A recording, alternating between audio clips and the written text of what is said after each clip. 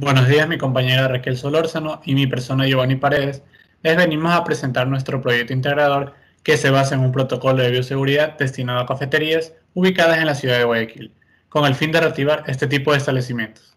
Según el informe de coyuntura realizado por profesores del Centro de Investigación Económicas del SPOL en la ciudad de Guayaquil, durante el mes de abril del presente año, en donde se encuestaron a 127 propietarios y gerentes de establecimientos del sector de alimentos y bebidas, y que además han logrado establecer locales con una trayectoria mayor a dos años, indicaron que sus ventas se verían reducidas en más de un 30% en comparación a la cifra de ventas promedio del año 2019, que fueron alrededor de 283.216 dólares,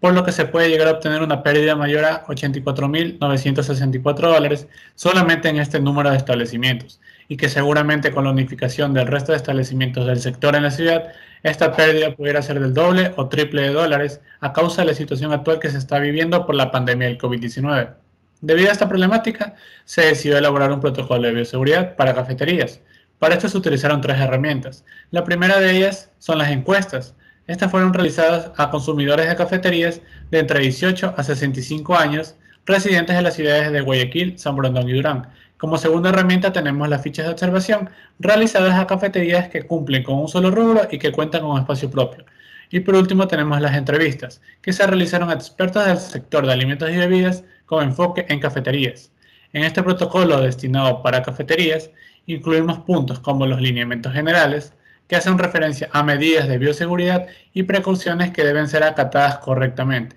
en situaciones como la asistencia del trabajador a su lugar de trabajo y el desplazamiento que éste realiza desde su hogar al lugar de trabajo y viceversa. También incluimos lineamientos del trabajador, donde se incluyeron normativas de bioseguridad para el cumplimiento de su actividad laboral, desde su ingreso y salida de las instalaciones del establecimiento, hasta inclusive normativas por tipo de ocupación laboral del trabajador. Además, dentro de esta misma sección, se integraron parámetros de bioseguridad para los dos tipos de servicios más recurrentes en las cafeterías, que son el servicio a la mesa y el self-service o servicio autónomo. Otro punto a destacar dentro del protocolo son los lineamientos del empleador, y es porque frente a la situación actual, del empleador depende el acatamiento de todas las normativas propuestas en el protocolo. Dentro de los lineamientos de esta sección incluimos la revisión del personal, el control de áreas y además capacitaciones y socializaciones del protocolo que deben ser gestionadas por el empleador. En la planificación del espacio incluimos la distribución de mesas y sillas tomando en cuenta el aforo y distanciamiento. También la ubicación de la señalética dentro del establecimiento. Una de las áreas más importantes es la operativa, ya que hay que brindar un servicio seguro, por lo que se implementan lineamientos de limpieza y desinfección de zonas, directrices de servicio a domicilio y pick-up para mantener la seguridad del trabajador y el cliente, y recomendaciones útiles para los procesos de, servicio. Las áreas públicas son un foco infeccioso dentro de las cafeterías, por eso se dan instrucciones de limpieza y desinfección y las medidas que debe tener el personal. El manejo de desechos establece el proceso de desechos y la clasificación de las mismas. Un punto importante son los lineamientos del cliente que se deben cumplir si éste desea acudir al lugar y las medidas aplicadas por su salud. Por último, tenemos los anexos, en los que se encuentra información fundamental como el instructivo del uso de mascarilla y guantes, las soluciones desinfectantes más usadas, un catálogo de soluciones desinfectantes y sanitizantes con especificaciones de uso, el lavado de manos correcto y la clasificación de residuos en establecimiento de alimentos y bebidas.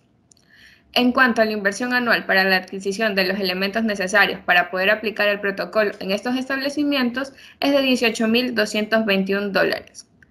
Pero, aunque pueda parecer un valor exorbitante, esta cantidad de dinero no se compara a las pérdidas que pueda seguir causando la pandemia del COVID-19, que incluso por no tomar las respectivas medidas de bioseguridad puede seguir propagándose más, hasta un punto de quiebre para todos los establecimientos y donde posiblemente no haya vuelta atrás por lo que la aplicación correcta del protocolo puede ayudar a resurgir a este tipo de establecimientos y además, aparte de cuidar el aspecto económico, salvaguardamos la salud de los ciudadanos. Muchas gracias.